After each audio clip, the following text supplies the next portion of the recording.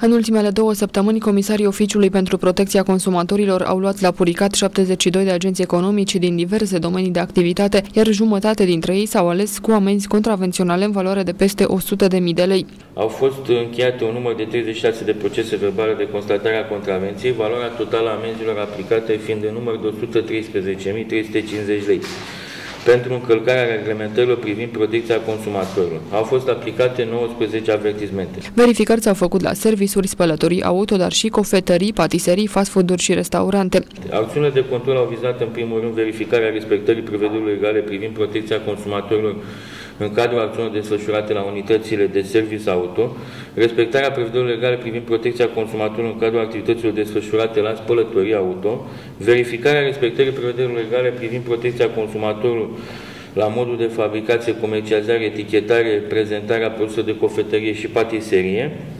verificarea respectării prevederilor legale privind protecția consumatorilor pentru modul de fabricație, comercializare, etichetare, prezentarea produselor fast food și restaurante. De asemenea, au fost verificați și unii agenți economici care își desfășoară activitatea în piața centrală, iar cei prinși pe picior greșit s-au ales cu amenzi de peste 4.000 de lei.